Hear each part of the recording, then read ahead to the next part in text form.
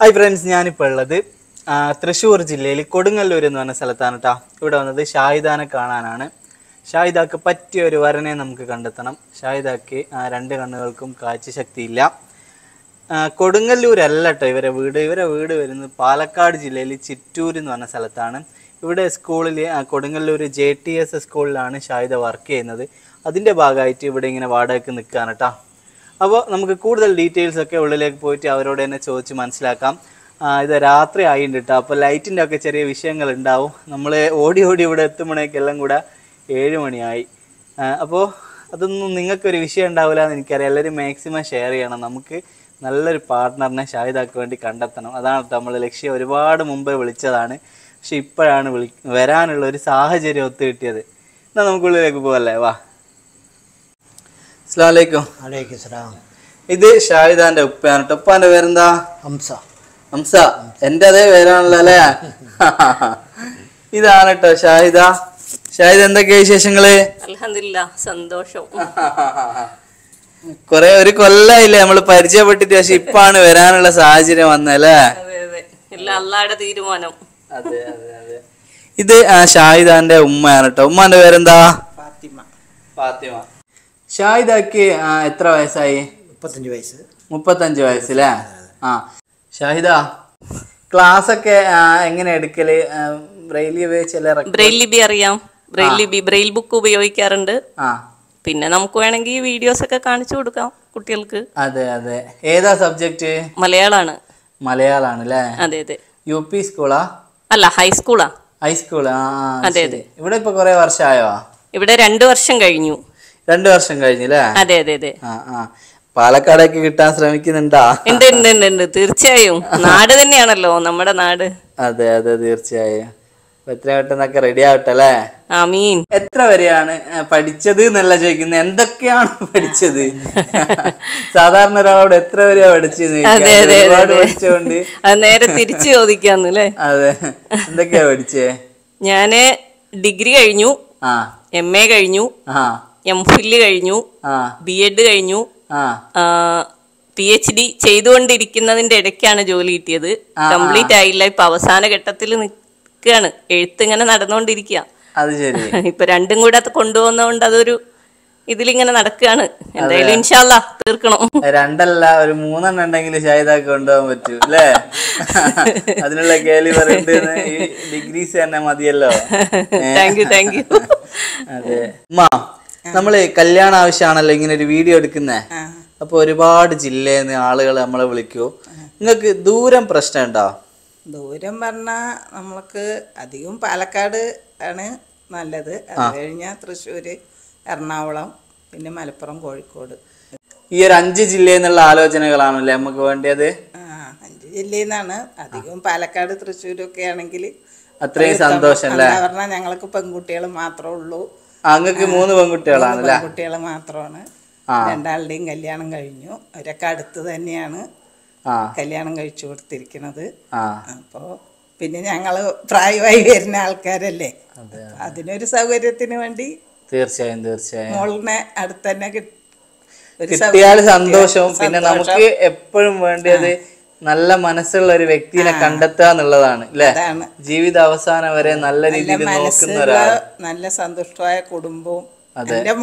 ഞങ്ങളുടെ മക്ക മോളെ കൊണ്ടുപോയി നല്ലതിൽ സ്നേഹത്തോടെയും സന്തോഷത്തോടെയും മരണം വരെ ഒരു നല്ലതിൽ അവൾക്ക് വേണ്ട കാര്യങ്ങൾ ജോലിപരമായിട്ടും പഠനത്തിന്റെയും എല്ലാ സൗകര്യം ചെയ്തു കൊടുക്കാൻ ഒരു മനസ്സുള്ള ആൾക്കാരായിരിക്കണം അതെ. അവൾക്ക് കിട്ടേണ്ടത്. അതാണ്. പഠിപ്പിനോ ജോലിക്കോ യാതൊരു തെറ്റും വരാതെ അവളെ ഇതാക്കണം. തീർച്ചയായും തീർച്ചയായും. അതിനൊരു അനുഗ്രഹം അവൾക്ക് കിട്ടണം അതിനുള്ള ആൾക്കാരിനെയും കിട്ടണം. തീർച്ചയായിട്ടും. ഒരു വിഷമം അതുകൊണ്ടാണ് അപ്പം അതൊന്ന് മാറ്റിക്കിട്ടാൻ അതിനനുസരിച്ച് ഒരാൾക്കാരിന് പഠിച്ചവൻ കബൂലാക്കി തരണം. അത്രേ ഞങ്ങളുടെ പറയാനുള്ളത്. അത് ഉമ്മ ഇത്ര ആ ഫീലിങ്ങോടെ കൂടി പറയാന്ന് വെച്ചാൽ ഞങ്ങൾ ഇപ്പൊ അത് ഡിസ്കസ് ചെയ്ത് ഉമ്മയും പി എച്ച് ഡിയും അല്ലെ എം ഫിലും എന്തൊക്കെയാണ്? ഷായി അത്രയും ഷായിദ എന്തൊക്കെ പഠിച്ചിട്ടുണ്ടോ? അതൊക്കെ ഉമ്മയും പഠിച്ചിട്ടുണ്ട്. പക്ഷെ ഉമ്മക്ക് സർട്ടിഫിക്കറ്റ് കിട്ടിയില്ല എന്നേ ഉള്ളൂ അല്ലേ അപ്പൊ തീർച്ചയായിട്ടും കാഴ്ച പരിമിതിയുള്ള ഒരു മോളെ പഠിപ്പിക്കുക എന്ന് വെച്ചാൽ ഞാൻ പല ഉമ്മമാരെയും കണ്ടിട്ടുണ്ട്. ഉമ്മമാരും അതൊക്കെ പഠിച്ചിട്ട് ആണല്ലോ അവർക്ക് പറഞ്ഞു കൊടുക്കുക. അവരിനെ അതുപോലെ ഞമ്മൾ അവൾക്ക് വേണ്ട സഹായത്തിന് ഒരാളിനെ നിർത്തി അവർക്ക് അതിനുള്ള ഇത് കൊടുത്ത് എന്നിട്ടാണ് സഹായിച്ചു കൊടുക്കണത് എഴുതാനും വായിക്കാനും. ആദ്യമൊക്കെ ഞങ്ങൾ ചെയ്തു കൊടുത്തു. ആ. ഇപ്പൊ വലിയ വലിയ ക്ലാസ്സുകൾ എത്തുമ്പോൾ നമ്മളെ കൊണ്ട് പറ്റില്ലല്ലോ. അതെ അതെ. ഇപ്പൊ ഇതാ സ്കൂളിലെ കാര്യങ്ങളാണെങ്കിലും അവൾക്ക് സഹായത്തിനായിട്ട് ഒരു കുട്ടിനെ നിർത്തിയിട്ടുണ്ട്. ആ പേപ്പർ നോക്കാനും അല്ലേ? എഴുതാനും അത് പറഞ്ഞാൽ ബ്രെയിൽ ലിപിയിൽ കുട്ടികളെ പഠിപ്പിക്കുക പറഞ്ഞാൽ ടീച്ചർക്ക് മാത്രമല്ലേ വായിക്കാൻ അറിയുള്ളൂ. കുട്ടികൾക്ക് അറിയില്ലല്ലോ. അപ്പൊ തീർച്ചയായും. അതിനെ പകർത്തി കൊടുക്കാനും എഴുതി കൊടുക്കാനും ഒക്കെ ആയിട്ടും വായിച്ചു കൊടുക്കാനായിട്ടും ഒരു കുട്ടിനെ ഏൽപ്പിച്ചിട്ടുണ്ട്. അങ്ങനെയൊക്കെയാണ് അവളുടെ രീതി പോണത്. അപ്പൊ അതിനൊക്കെ ഒരു ഹെൽപ്പ് ഇതായിട്ടുള്ള ആയിട്ടുള്ള ഒരാളായിരിക്കണം തീർച്ചയായും തീർച്ചയായും അതാണ് ഈ പഠനത്തിനും ജോലിക്കുമായിട്ട് പ്രശ്നം വരാത്തൊരു ഇതിലുള്ള ആൾക്കാരായിരിക്കണം എന്ന് ഞാൻ പ്രത്യേകം എടുത്തു പറഞ്ഞത്. തീർച്ചയായിട്ടും ഉമ്മ പറഞ്ഞത് വലിയൊരു കാര്യമാണ്. ഷാഹിദ അത്രയും കഷ്ടപ്പെട്ട് പഠിച്ചിട്ടാണ് ഇന്ന് ഈ നിലയിലെത്തിയത്. അപ്പൊ കല്യാണ ശേഷം അവളെ ജോലിക്ക് വിടുന്ന ഒരാളായിരിക്കണം തീർച്ചയായിട്ടും. മാത്രമല്ല അവൾക്കൊരു ഹെൽപ്പായിരിക്കണം. നമ്മളെ ഒരു ആഗ്രഹമാണ് പറയുന്നത് വരുന്ന ഹസ്ബൻഡ് പിയാപ്ല.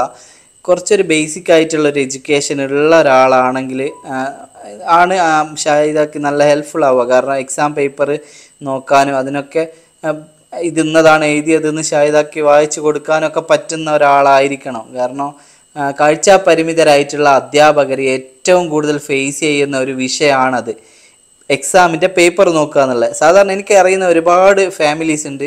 ഭാര്യമാർ പേപ്പർ നോക്കി കൊടുക്കുന്നവരുണ്ട്. ഇല്ലെങ്കിൽ ഭർത്താക്കന്മാർ നോക്കി കൊടുക്കുന്നവരുണ്ട്. അങ്ങനെ പാർട്ട്ണറിൽ ഒരാൾക്ക് കാഴ്ച ഉണ്ടാകുമ്പോൾ അവരാണ് നോക്കിക്കൊടുക്കൽ ഇനി രണ്ടാളും കാഴ്ച പരിമിതിയുള്ള ആളുകളാകുമ്പോൾ അവർ മക്കളും അങ്ങനെയൊക്കെ ആയിട്ട് ഹെൽപ്പ് ചെയ്യാറാണ് പതിവ്. അപ്പോൾ തീർച്ചയായിട്ടും അതിന് പറ്റുന്ന ഒരാൾ തന്നെ ആയിരിക്കണം. ഇപ്പോൾ അവരെ ആളെ വെച്ചിട്ട് നോക്കിക്കുക എന്നൊക്കെ പറഞ്ഞല്ലോ. അതൊക്കെ മാറണം. ആത്മാർത്ഥമായിട്ട് ഷാഹിദാനെ സ്നേഹിക്കുകയും കൊണ്ടു നടക്കുകയും ഒക്കെ ചെയ്യുന്ന ഒരാളായിരിക്കണം. ആരും തൽക്കാലത്തേക്ക് എന്നുള്ള ഉദ്ദേശത്തിൽ വരരുത്. ഈ ഇതിലാരും അനാവശ്യമായിട്ട് വിളിക്കരുത്. പിന്നെ ഷാഹിദാന്റെ ജോലി കണ്ട് അങ്ങനെ ഒന്നും വരാനും പാടില്ല കേട്ടോ. നിങ്ങൾ ജീവിതം എന്ന് പറയുന്നത് നമുക്ക് ഒരുപാട് കാലം സന്തോഷത്തോടു കൂടി കഴിയേണ്ടതാണ്. അതിന് പരസ്പര സ്നേഹമാണ് ഏറ്റവും വലുത്. അത് മനസ്സിലാക്കി മാത്രം മുമ്പോട്ട് വരിക. എങ്കിൽ നിങ്ങളെ ജീവിതം ഹാപ്പി ആയിരിക്കും കേട്ടോ ഷാഹിദ ഓ. വേറെ എന്താ പറയാനുള്ളത്? നമുക്ക് ഓരോരുത്തർക്കും വരാൻ പോകുന്ന നമ്മളെ പിയാപ്ലാനെ പറ്റി ഒരുപാട് കൺസെപ്റ്റുകൾ ഉണ്ടാവല്ലോ. അപ്പോ ഷാഹിദാക്ക് അങ്ങനെ എന്തൊക്കെയുള്ള ധൈര്യമായിട്ട് പറഞ്ഞേട്ടാ നമ്മളെ ഇഷ്ടങ്ങളൊക്കെ നമുക്ക് പറയാം. ഒന്നാമത്തായിട്ട്. പറയാനുള്ളത് പരസ്പരം മനസ്സിലാക്കുക എന്നുള്ളത് മാത്രമാണ്. അതെ. കാരണം നമ്മൾ ബാക്കിയെല്ലാം നമുക്ക് പിന്നീട് ഉണ്ടാക്കിയാൽ ഉണ്ടാവുന്നതാണ്. അതെ. പക്ഷെ മനസ്സിലാക്കുക എന്ന് പറയുന്നതാണ് ഏറ്റവും പ്രധാനം എന്ന് വിശ്വസിക്കുന്ന ഒരാളാണ് ഞാൻ. അതെ അതെ. കാരണം രണ്ടുപേർക്കും പരസ്പരം മനസ്സിലാക്കിയെങ്കിൽ മാത്രമേ നമുക്ക് മുന്നോട്ട് പോകാൻ പറ്റുള്ളൂ. അപ്പൊ എന്റെ കാര്യങ്ങൾ അയാൾക്കും അയാളുടെ കാര്യങ്ങൾ എനിക്കും മനസ്സിലായെങ്കിൽ മാത്രമേ മുന്നോട്ട് പോകാൻ പറ്റുള്ളൂ. അപ്പോൾ ഒരു ഉത്തമ സുഹൃത്തും വഴികാട്ടിയുമായിരിക്കണം എന്നാണ് എനിക്ക് അതുമായിട്ട് ബന്ധപ്പെട്ട് പറയാനുള്ളത്. രണ്ടാമത്തെ കാര്യം കുറച്ച് ലിബറൽ ആയിരിക്കുക എന്നുള്ളതാണ്. കാരണം ലിബറൽ ആയിട്ടുള്ള ഒരാൾക്ക് മാത്രമേ അങ്ങനെ വിശാലമായിട്ട് ചിന്തിക്കാനും കാര്യങ്ങൾ മനസ്സിലാക്കാനായിട്ട് സാധിക്കുള്ളൂ എന്നാണ് ഞാൻ വിശ്വസിക്കുന്നത്. അപ്പൊ അതെ അതെ. അപ്പം അത് കൃത്യമായിട്ട് ലിബറലായിട്ട് ചിന്തിക്കുന്ന ഒരാൾ ആയിരിക്കണം എന്നാണ് ഞാൻ വിചാരിക്കുന്നത്. മൂന്നാമത്തെ കാര്യം ഇതര മതത്തിൽപ്പെട്ട ആളുകൾ കോണ്ടാക്ട് ചെയ്യേണ്ടതില്ല എന്നുള്ളതാണ്. ഇതര മതത്തിൽ കാരണം അത് പലതിലും ഞാൻ കണ്ടിട്ടുള്ളത് കൊണ്ടാണ്. പറയാൻ കാരണം. ഇക്കയുടെ കമന്റിൽ ഞാൻ കാണാറുണ്ട് അത്. കമന്റ് ഞാൻ വായിക്കാറുണ്ട്. അപ്പൊ എനിക്ക് മനസ്സിലാക്കുന്നത് അങ്ങനെ പറഞ്ഞില്ലല്ലോ എന്ന് പറഞ്ഞ് പല ആളുകളും ചോദിക്കുന്നതായിട്ട് ഞാൻ കണ്ടിട്ടുണ്ട്. അപ്പൊ ഇതര മതത്തിൽപ്പെട്ട ആളുകൾ കോണ്ടാക്ട് ചെയ്യേണ്ടതില്ല എന്നുള്ളതാണ്. പിന്നെ നാലാമത്തെ കാര്യം പറയാനുള്ളത് ഇതിൽ വിദേശത്ത് വർക്ക് ചെയ്യുന്ന ആളുകൾ അതിനോട് എനിക്ക് താല്പര്യമില്ല. ഇവിടെ നാട്ടിൽ തന്നെ ഉള്ള ആളുകൾ നാട്ടിൽ തന്നെ ഉള്ള ആളുകൾ ഈ പറയുന്ന മേൽ സൂചിപ്പിച്ച അഞ്ച് ജില്ലകളിലുള്ള ആളുകൾ കോണ്ടാക്ട് ചെയ്യാവുന്നതാണ്. അതും. പൂർണമായിട്ടും വീട്ടുകാരുടെ സമ്മതത്തോടുകൂടി വീട്ടുകാരെ കൊണ്ട് കോണ്ടാക്ട് ചെയ്യിപ്പിക്കുന്നതായിരിക്കും കുറേയും കൂടെ നല്ലതെന്നാണ് ഞാൻ വിശ്വസിക്കുന്നത്. തീർച്ചയായും കാരണം അങ്ങനെയാണെങ്കിൽ മാത്രമേ നമുക്ക് ഇതിന്റെ കൃത്യമായിട്ടുള്ള കാര്യങ്ങൾ ഉറപ്പുവരുത്താനായിട്ട് സാധിക്കുള്ളൂ. അപ്പോൾ നിങ്ങൾ കോണ്ടാക്ട് ചെയ്യുന്നതിനേക്കാൾ നല്ലത് വീട്ടുകാരെ കൊണ്ട് കൃത്യമായിട്ട് കോണ്ടാക്ട് ചെയ്യുകയും കൃത്യമായി സത്യസന്ധമായി രണ്ടു കൂട്ടരുടെയും കാര്യങ്ങൾ അറിയുക എന്നുള്ളതാണ്. അപ്പോൾ വീട്ടുകാരെ കൊണ്ട് കോണ്ടാക്ട് ചെയ്യിക്കുക. പിന്നെ അടുത്ത കാര്യം പറയാനുള്ളത് പെണ്ണ് കാണുന്നതിന് മുമ്പ് സംസാരിക്കുന്നതിനോട് എനിക്ക് താല്പര്യമില്ല. അടിപൊളി അടിപൊളി. ഇത് ഞാൻ അങ്ങോട്ട് കൃത്യമായിട്ടും ഞാൻ പറയാൻ കാരണം അങ്ങനെ പല കോണ്ടാക്റ്റുകളും വരുന്നത് മിസ്യൂസിങ് ആണ് എന്ന് മനസ്സിലാക്കിയതിന്റെ അടിസ്ഥാനത്തിലാണ് അതെ അതെ. കാരണം പൊതുവായിട്ടുള്ള കാര്യങ്ങൾ കുറെ വിലയിരുത്തുന്ന ഒരാൾ എന്നുള്ള നിലയിൽ എനിക്കത് മനസ്സിലാക്കാൻ കഴിയും. കാരണം ഇക്കായുടെ തന്നെ പല വീഡിയോയിലും കുട്ടികൾക്ക് അങ്ങനെ പ്രശ്നം ഉണ്ടായിട്ടുണ്ട് എന്നുള്ളതും ഞാൻ കണ്ടിട്ടുണ്ട്. അതെ അതെ അതുകൊണ്ട് എനിക്ക് അതിനോട് താല്പര്യമില്ല. വീട്ടുകാരുമായി സംസാരിക്കുക. നിങ്ങൾക്ക് എന്നോട് സംസാരിക്കണം എന്നുണ്ടെങ്കിൽ പെണ്ണ് കാണാൻ വരിക നമുക്ക് സംസാരിക്കാം. അടിപൊളി. ഞാൻ എല്ലാ വീട്ടിൽ പോയാലും അവരോട് പറയുന്ന കാര്യമാണ് ഷായി ഇങ്ങോട്ട് പറഞ്ഞത് അപ്പൊ എനിക്ക് കുറെ സംസാരം ഒഴിവായി കിട്ടിയില്ലേ? എന്റെ കുറെ എനർജി സേവ് ആയി. അതാണ്. അത് കുഴപ്പമില്ല നാളെ ഒരുപാട് പേരുണ്ട് അത്തരത്തിൽ അനാവശ്യമായിട്ട് വിളിക്കുന്നവര്. അപ്പൊ അതൊന്നുകൂടി കൂടി പറയാ നമ്മളൊരു പ്രോട്ടോകോൾ എന്നുള്ള രീതിയിൽ നല്ലപോലെ ശ്രദ്ധിക്കണം നല്ലപോലെ അന്വേഷിക്കണം. കല്യാണത്തിന് ശേഷമുള്ള ഒരു കാര്യത്തിന് എനിക്ക് യാതൊരു ഉത്തരവാദിത്തം ഉത്തരവാദിത്വം ഉണ്ടാവില്ല. ബാക്കി ഒന്നും ഷാഹിദാനോട് പറയേണ്ടേ ഇല്ല. കാരണം അവർക്ക് എല്ലാം അറിയാം. ഒരു ക്ലവർ ആയിട്ടുള്ള ആളായതുകൊണ്ട് വേറൊന്നും പറയണ്ട. പിന്നെ ഗൾഫിലുള്ള ആളുകളോട് താല്പര്യം ഇല്ല എന്ന് പറയുമ്പോൾ നിങ്ങളത് അതെന്താന്നുള്ള ഇതിൽ ചിന്തിക്കേണ്ട. കാരണം കുറച്ച് മുമ്പേ നമ്മൾ പറഞ്ഞ വിഷയം തന്നെയാണ് കേട്ടോ എക്സാം പേപ്പർ നോക്കാനായാലും എവിടെയെങ്കിലും ട്രാവൽ ചെയ്യാനായാലും ഒക്കെ നാട്ടിൽ ജോലിയുള്ള ഒരാളാകുമ്പോഴാണ് നമുക്ക് ഏറ്റവും നല്ലത്. ആ ഒരു വിഷയം കൊണ്ട് തന്നെയാണ് നമുക്ക് ഗൾഫിലുള്ളവർ ശരിയാവില്ല. നാട്ടിൽ ഇപ്പൊ എന്ത് പണിയാണെങ്കിലും നമുക്ക് വിഷയമില്ലല്ലോ അല്ലെ ഷാഹിദ? ഇല്ല ഇല്ല ഇല്ല. ആ അവർക്ക് ബേസിക് ആയിട്ട് ഒരു ജീവിക്കാൻ കഴിയുക എന്നുള്ളത് മാത്രമേ ഉള്ളൂ. തീർച്ചയായും. നമ്മൾ പരസ്പരം മനസ്സിലാക്കുക എന്നുള്ളതാണ്. നമ്മൾ പരസ്പരം താങ്ങും തണലുമായി അതെ. പരസ്പരം സഹായിയായി അതെ. പരസ്പരം കൂട്ടുകാരനും കൂട്ടുകാരിയുമായി അതെ. നിലനിൽക്കുക എന്നുള്ളിടത്താണ് നമ്മൾ വിജയിക്കുന്നത് എന്നാണ് ഞാൻ വിശ്വസിക്കുന്നത്. തീർച്ചയായിട്ടും അങ്ങനെ തന്നെ ആവട്ടെ എന്ന് പ്രാർത്ഥിക്കുന്നു. തീർച്ചയായും. അതെ അതെ. എത്രയും പെട്ടെന്ന് നല്ലൊരു വരം മുമ്പോട്ട് വരട്ടെ അല്ലേ അതെ. അതെ. ഷാഹിദക്ക് മുപ്പത്തഞ്ച് വയസ്സല്ലേ ആയത്? അതെ അതെ നമുക്ക് നമുക്കൊരു എത്ര വയസ്സ് വരെയുള്ള ആലോചനകൾ സ്വീകരിക്കാം? ഒരു നാൽപ്പത്തിരണ്ട്. ആ ഒരു ആ ഒരു റേഞ്ച് നാൽപ്പത്തിരണ്ട്. ആ. അതേപോലെ നമ്മളിപ്പോ ഈ ഒരു വയസ്സ് റേഞ്ചിന്റെ ഉള്ളിൽ എന്ന് പറയുമ്പോ അധിക പേരും ഡിവേഴ്സ്ഡ് ആയവരും അല്ലെങ്കിൽ പിന്നെ ഭാര്യ മരിച്ചവര് അങ്ങനെയൊക്കെ ആയിരിക്കും. അങ്ങനെയുള്ള ആളുകളിൽ നിന്ന് ആലോചന നമ്മൾ സ്വീകരിക്കൂലേ ഞാൻ ഉദ്ദേശിച്ചത് ഇപ്പോ ചെറിയ ബുദ്ധിമുട്ടുകളുള്ള ആളുകൾ ഉണ്ടാവും അതായത് കൈക്കൊരു ചെറിയ പ്രശ്നം ഇപ്പൊ കാലിന് ഒരു ചെറിയ പ്രശ്നം അങ്ങനെയുള്ള ആളുകൾ ഉണ്ടാവും ഇപ്പൊ കണ്ണിനാണെങ്കിൽ തന്നെ ഒരു ചെറിയ പ്രശ്നമുള്ള ആളുകളൊക്കെ ഉണ്ടാവും ചിലപ്പോ. അപ്പൊ അത്തരം ആളുകളെ സംബന്ധിച്ചിടത്തോളം അത് നമുക്ക് നോക്കാവുന്നതാണ് എന്നുള്ളതാണ്.